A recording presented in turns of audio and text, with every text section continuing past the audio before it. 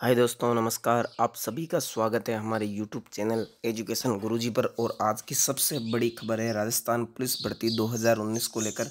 तो दोस्तों, पहले राजस्थान पुलिस भर्ती की जो परीक्षा थी, वो मई में प्रस्तावित थी, लेकिन अब इस पर रोक लगा दी गई है। और भर्ती प्रकोष्ठ ने एक आदेश है, वो भी जारी किया है। क्या है? पूरी खबर आपको दिखाते हैं। उससे पहले यदि अभी तक आपने हमारे इस यूट्यूब चैनल को सब्सक्राइब नहीं किया तो सब्सक्राइब करें और बेल का आइकन ज़रूर दबाएँ। मई में थी, प्रस्तावित सत्रह लाख अभ्यर्थी, कांस्टेबल भर्ती परीक्षा होगी जुलाई के बाद। कोरोना वायरस के प्रकोप से पुलिस, कांस्टेबल भर्ती परीक्षा भी प्रभावित हुई। परीक्षा पहले से प्रस्तावित मई में नहीं हो सकेगी। परीक्षा की तिथि स्कूल और कॉलेजों के खुलने के बाद ही तय की जाएगी। इससे स्पष्ट है कि ये परीक्षा जुलाई या इसके बाद ही होगी। पुलिस कांस्टेबल के साढ़े पाँच हज़ार पदों पर भर्ती होनी है। इसके लिए करीब सत्रह लाख युवाओं ने आवेदन किया है। आवेदन प्रक्रिया पूरी होने के बाद पुलिस मुख्यालय भर्ती परीक्षा की तैयारी में जुटा था। भर्ती के लिए मई के अंतिम सप्ताह में परीक्षा होनी थी। हालाँकि परीक्षा दिनांक की घोषणा पुलिस मुख्यालय ने नहीं की थी।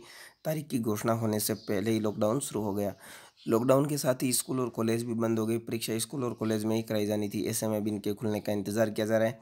स्कूल और कॉलेज फ़िलहाल जून के बाद ही खुलने की उम्मीद है। उधर अतिरिक्त पुलिस महानिदेशक भर्ती प्रकोष्ठ बिजू जोर्ज जोसफ ने बताया कि हमने तैयारियाँ पूरी की है और जैसे ही स्कूल और कॉलेज खुलेंगे, वहाँ व्यवस्था सुनिश्चित कर परीक्षा की घोषणा की जाएगी। धन्यवाद।